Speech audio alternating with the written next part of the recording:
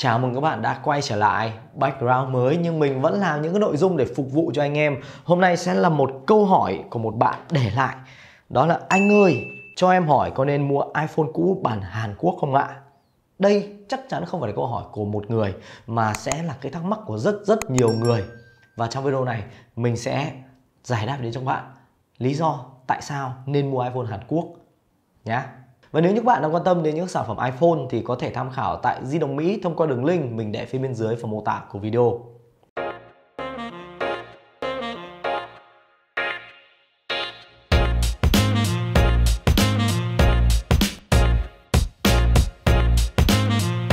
Fastcare, trung tâm sửa điện thoại hàng đầu tại thành phố Hồ Chí Minh.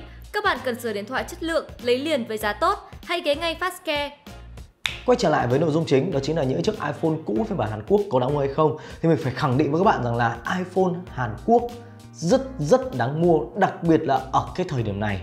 Lý do tại sao? Trước tiên đó chính đến từ mức giá. Nếu như các bạn có để ý ấy, thì mức giá của những chiếc máy iPhone Hàn Quốc nó luôn là những chiếc máy có giá rẻ nhất. Uh, iPhone Nhật, iPhone Hàn Quốc rẻ nhất này. Sau đó thì tới iPhone Mỹ rồi sau đó thì tới iPhone Việt Nam chính hãng VNZA uh, ờ, tại sao Việt Nam đắt thì các bạn quá rõ rồi bởi vì nó có luôn bảo hành chính hãng. Uh, nhập thuế các thứ đầy đủ. Còn phiên bản iPhone Hàn Quốc ấy thì mức giá của nó rẻ bởi vì trước đây không nhiều người chuộng cái con máy này. Lý do tại sao họ không chuộng? Bởi vì những cái sản phẩm iPhone Nhật và iPhone Hàn Quốc khi mà chúng ta dơ máy lên chụp thì nó sẽ để lại cái tiếng kêu xoẹt, xoẹt và xoẹt.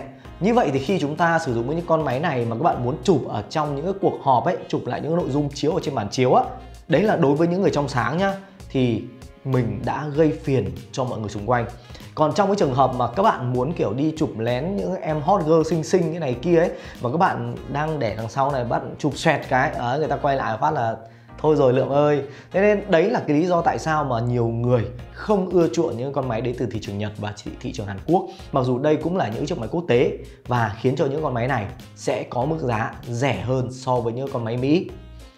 Thế nhưng mà ở thời điểm này á, cái vấn đề đấy các bạn đã không còn phải lo lắng nữa rồi bởi vì từ phiên bản iOS 15 trở đi, tất cả những con máy của thị trường Nhật, của thị trường Hàn khi mà đưa về thị trường Việt Nam và các bạn gắn SIM của Việt Nam vào, nó sẽ nhận dạng ra à chiếc máy này đang ở quốc gia khác không phải ở Nhật không phải ở Hàn. Và ở quốc gia này không áp những cái chế độ liên quan đến việc bắt buộc phải để âm chụp ảnh nên nó sẽ cho phép chiếc iPhone được tắt âm camera. Như vậy thì nó đã hoạt động giống như một chiếc máy của thị trường Việt Nam, giống như của thị trường Mỹ. Không còn những vấn đề liên quan đến việc là không ờ, tắt được âm chụp ảnh nữa.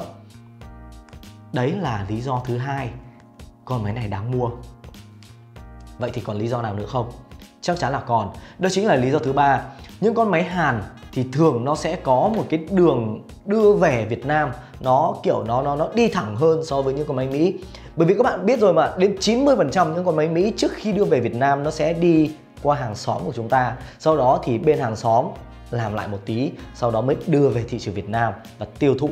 Còn đối với những con máy Hàn thì trước đây mình đã từng làm ở một cửa hàng và mình biết rằng những con máy Hàn, đa số thì nó sẽ được đưa thẳng từ Hàn Quốc về. Tức là nó sẽ đi máy bay từ Hàn Quốc về Việt Nam, sau đó thì đẩy ra cho những cái đại lý xung quanh và sẽ được bán ra. Và những con máy Hàn, đôi khi mình gặp những con máy mở ra còn nguyên dữ liệu của khách ở bên trong, còn ảnh, còn nội dung tin nhắn, còn số điện thoại luôn các bạn ạ. Thế nên có thể thấy rằng là cái nguồn hàng của những chiếc máy Hàn á, nó sẽ an toàn hơn và nó sẽ đảm bảo hơn cho chất lượng của chúng ta thì đấy là ba cái lý do chính mà mình khuyên các bạn là nếu như các bạn đang nghĩ tới những chiếc máy iPhone Hàn thì nên mua iPhone Hàn Quốc. Đó, bởi vì thứ nhất, như mình đã nói, giá của nó tốt nhất. Thứ hai, đó là những con máy này hiện nay thì nó đã sử dụng được như những chiếc máy của thị trường Việt Nam và của thị trường Mỹ. Và thứ ba, đó là cái con đường mà nó đi về và cũng như chất lượng của máy nó được đảm bảo hơn. Ok, và nếu như các bạn cảm thấy video hữu ích đừng quên để một like, share và bấm subscribe kênh youtube của Ngọc Trần Studio. Xin chào và hẹn gặp lại các bạn ở những video lần sau. Đừng quên để lại câu hỏi nếu như các bạn đang có thắc mắc gì nhé